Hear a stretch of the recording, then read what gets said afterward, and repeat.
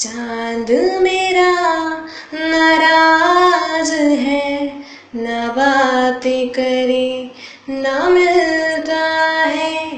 कैसे उसको समझाऊं कि रिश्ता दिल का है?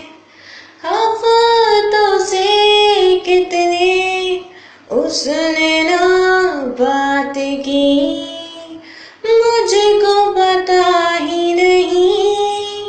किस बात की नाराज़गी?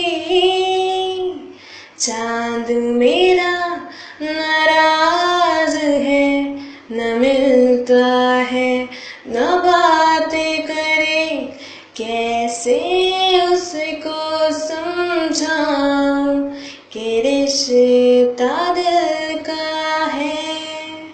Hi guy this is Khan hope you enjoy this song